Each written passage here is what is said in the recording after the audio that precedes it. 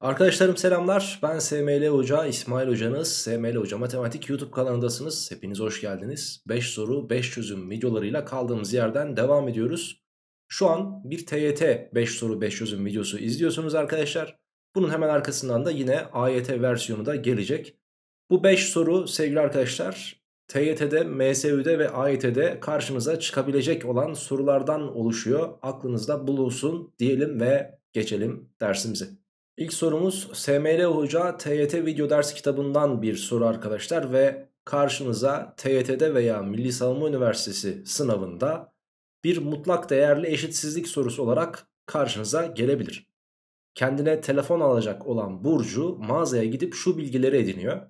A marka telefonların en ucuzu 2000 lira, en pahalısı 3500 lira. Şimdi bir sayı doğrusu çizerek en ucuzu ve en pahalısını gösterelim. Bakın en ucuzu 2000 liraymış ve en pahalısının da 3500 lira olduğu dile getirilmiş. Şöyle. Daha sonrasında B marka telefonların en ucuzu 5000 lira. Şurada şöyle 5000 olsun. En pahalısı ise sevgili arkadaşlar 6500 lira olarak dile getirilmiş. Bu mağazadan telefon alan Burcu x lira ödediğine göre Burcu'nun telefona ödediği ücreti ifade eden eşitsizlik aşağıdakilerden hangisidir diye sorulmuş. Şimdi bu tarz aralıkları şıklarda da görüldüğü gibi mutlak değerli olarak ifade edebilmek için tüm bu aralıkların tam ortasındaki sayıyı bulmamız lazım. 3500 ile 5000'in arasındaki sayımız tam ortasındaki sayımız ikisini toplayıp ikiye bölebilirsiniz. 4250'dir. Şimdi bu 4250'ye göre düşüneceğiz. Yorumumuzu buna göre yapmamız gerekiyor. 4250'nin 3500'e veyahut 5000'e olan uzaklığı 750 birimdir. O halde ben 750 küçük veya eşittir diyorum. E, Burcu'nun alacağı telefonun fiyatı x ise x'in x'in 4250'ye olan uzaklığı 7, 750'den daha büyüktür dedik. Böylelikle şu aralıkta olmadığını dile getirdik. Burcu'nun aldığı telefonun fiyatı bu aralıkta değil. Nerede? 750 birimden daha uzak mesafede. Yani şuralarda arkadaşlar. Veyahut şuralarda. Tamam. Şimdi peki ama biz şu aralığı ifade etmemiz gerekiyor. Yani 2000'in soluna ve 6500'ün sağına da taşmamamız gerekiyor. O halde ne yapmamız gerekiyor? Bunu da bir aralığa sıkıştırmamız gerekiyor. 4250'nin 2000'e olan uzaklığı 2250 dikkat ederseniz aynı 4250'nin 6000'e olan uzaklığı 6500'e olan uzaklığı da yine 2250 olduğu için bu x'in 4250 olan uzaklığı 2250'den daha küçüktür veya eşittir dememiz gerekiyor. İşte arkadaşlar bu da bize cevabı verecek doğru cevabımız D seçeneğinde mevcuttu.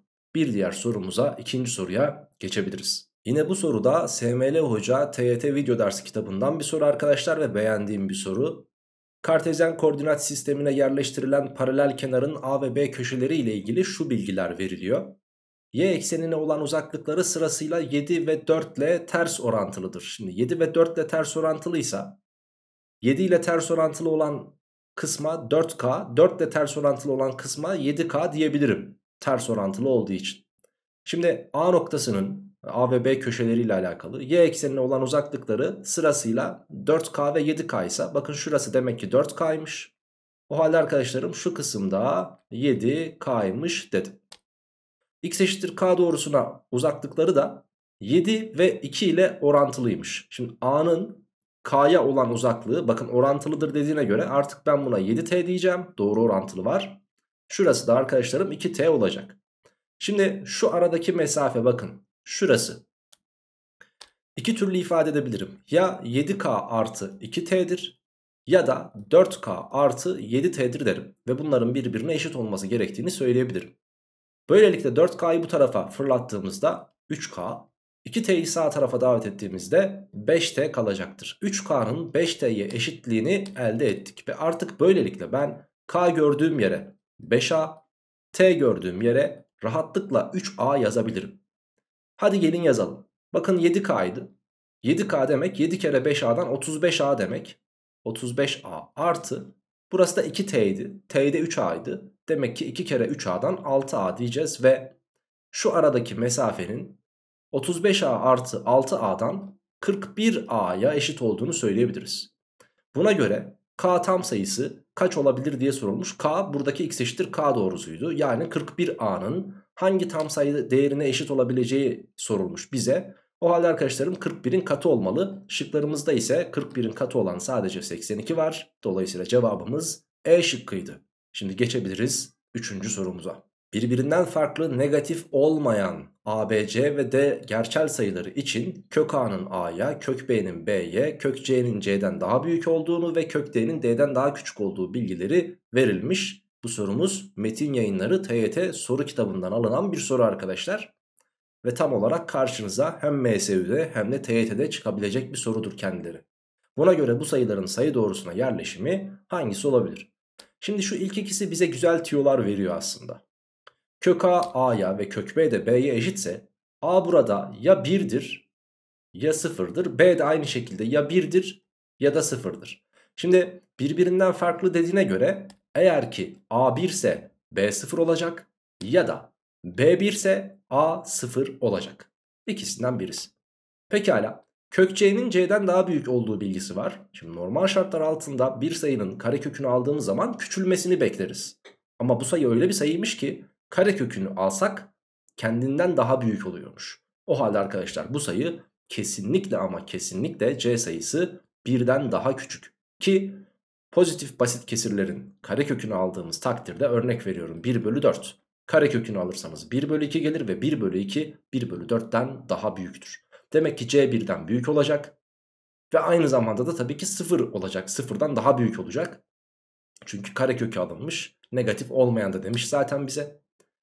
C'nin birden daha küçük olması gerektiğini bulduk. Bir de kökte D'den küçükse demek ki D sayısı da kesinlikle birden daha büyük olmalı.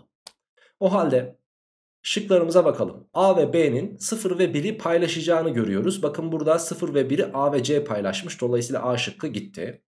Burada yine A ile C paylaşmış B şıkkında. Bu da gitti. C şıkkında A ile B sıfırla 1'i paylaşmış. D şıkkında A ile B sıfırla 1'i paylaşmış. Ve E şıkkında C ile D sıfırla 1'i paylaşmış. Bu da gitti.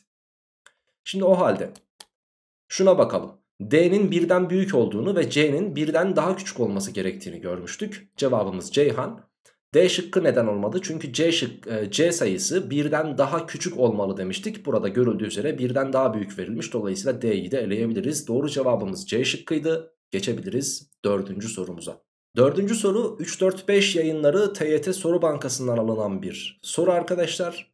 Yine dediğim gibi e, soru bankalarını inceleyip sık dokuyarak karşınıza ki bu soruları da seçerken aynı zamanda çözüyorum. E, eğer ki soru TYT veya Milli Savunma Üniversitesi'ne uygun değilse de zaten buraya almıyorum arkadaşlar. Bu serinin içerisine dahil etmiyorum. Ben olsam ÖSYM yerine olsam bu soruyu sorar mıydım sormaz mıydım diye baya bir ince elekten geçiriyorum soruyu. Eğer eleğin altına düştüyse buraya davet ediyoruz sorumuzu. Bir marketten aşağıdaki barkod numaraları gösterilmiş ürünlerden birer tane alan Saniha, te Seniha teyze kasiyerden toplam tutarın 47 TL olduğunu duyunca kızım raftaki etiketlere göre toplam 26 lira olması gerekiyor dediğinde kasiyer haklısın teyzeciğim barkod numaralarında bir rakamı olan ürünleri sistem yanlışlıkla ikişer tane kabul etmiş diye cevap verir. Barkodlar da bunlar. Buna göre 23 barkod numaralı ürünün fiyatı kaç liradır? Şimdi şu ürünün fiyatına A lira, bu ürünün fiyatına B ve bu ürünün fiyatına C lira olsun diyelim. Normal şartlar altında A artı B artı C'nin Seniha teyzenin hesapladığı gibi 26 lira olması gerekiyor ki kasiyer de bunu onaylamış. Ama kasiyer diyor ki barkodunun içerisinde bir rakamı bulunan ürünleri sistem iki, iki defa saymış diyor. Yani bu A lirayı sistem 2A lira olarak bunu normal olması gerektiği gibi B ve bunu bir rakamı olduğu için 2C olarak hesaplamış ve toplamda da 47 lira hesaplamış bunu kasa. Alttakinden üsttekini çıkarıyoruz. 2A'dan A çıktı A, B'den B çıktı gitti, 2C'den C çıktı C kaldı. A ile C'nin toplamı 47'den 26'yı çıkarırsanız 21 bulursunuz. Bizden istenen 23 numaralı ürünün fiyatı yani B isteniyor. Ben A ile C'nin toplamının 21 olduğunu bildiğime göre B'nin de 6 pardon 5 olması gerektiğini söyleyebilirim. Çünkü 21 ile 5'in toplamı 26 yapar. Demek ki bu ürünün fiyatı E şıkkındaki 5 olacakmış sevgili gençler. Devam edelim son sorumuzda. Ömer 4 günde okuyup bitirdiği bir kitaba ki 3-4-5 yayınlarından aldığımız bir soru yine 4 günde okuyup bitirdiği bir kitaba her günün sonunda ya o günün okuduğu sayfasını ya o gün okuduğu sayfa sayısını ya da o günün sonuna kadar okuduğu toplam sayfa sayısını etiketlere yazıp şekildeki gibi eklemiş. Sarı etiketlere yazılanlar o günkü okunan sayfa sayısını, mavi etiketlere yazılanlar o günün sonuna kadar okunan toplam sayfa sayısını ifade etmekte. Ömer'in ikinci gün okuduğu sayfa sayısı dördüncü gün okuduğunun iki katı olduğuna göre kitap toplam kaç sayfadır? Bakın sarı etiketler sevgili arkadaşlarım sarı etiketler o günkü okunan sayfa sayısını ifade ediyormuş. Şimdi birinci gün kitaba baştan başladı. Kitabın belli bir kısmı buraya kadar gelmiş ve 30 sayfaymış burası. Daha sonrasında ikinci gün x sayfa okudum demiş. Ama bunu mavi etikete belirtmiş. Dolayısıyla kitabın başından itibaren ikinci günün sonuna kadar okuduğu sayfa sayısına ben x diyeceğim. Dolayısıyla sevgili arkadaşlar sadece ama sadece ikinci gün okuduğu sayfa sayısı ise bizim için burada x eksi 30'dur diyebiliriz. Peki üçüncü gün 70 sayfa okumuş. 70 sayfa okuduğuna göre şurayı şu şekilde ilerleteceğim ve üçüncü gün 70 sayfa okuduğunu söyleyeceğim. Ve daha sonrasında sevgili arkadaşlarım dördüncü gün mavi etikete belirtmiş. Mavi etikette başından sonuna kadar kitapta kaç sayfa okuduğunu gösteriyor. Ne kadarmış? 2x. Yani o zaman kitap da 2x sayfa. Ve şu kısımda ne kadar okuduğunu tabii ki elde edebiliriz. Bunu da nasıl bulacağız? Şurayı toplayacağız arkadaşlar. x artı 70 yapacak. Daha sonrasında 2x'ten x, x artı 70'i çıkaracağım. Böylelikle elimde x eksi 70 kalacak. Şimdi şurası birinci gündü. Burası ikinci gün, burası üçüncü gün, burası dördüncü gün okuduğu sayfa sayıları. İkinci gün okuduğu sayfa sayısı yani x eksi 30. Dördüncü gün okuduğunun yani x eksi 70'in sevgili arkadaşlarım iki katıymış. O zaman ben bunu 2 ile çarparsam bunlar birbirine eşit olur. x eksi 30 eşittir. 2x eksi 140 dedik. Buradan x eşittir 110 geldi. Bizden istenen kitap toplam kaç sayfa? Ne demiştim? Kitap toplamda 2x sayfaydı. X'i bulduk. 2 çarpı 110'dan doğru cevabımız da 220'dir diyeceğiz o halde. Evet cevap B şıkkı olacaktı. Yine bu videoda da birbirinden güzel, kaliteli ve karşınıza çıkma olasılığı yüksek olan sorulardan ki benim için bu böyle karşınıza çıkma ihtimali yüksek olan sorulardan 5 tane soru çözdük ve bu soruların çözümlerini sizlere olabildiğince e, kendi yorumumla detaylı bir şekilde anlatmaya gayret gösterdim. Umarım sizler için faydası olur. Sonraki 5 soru 5 çözüm videosunda görüşürüz. Hoşça kalın, sağlıkla kalın ve tabii ki bol bol matematik çalışmayı da lütfen unutmayın arkadaşlar.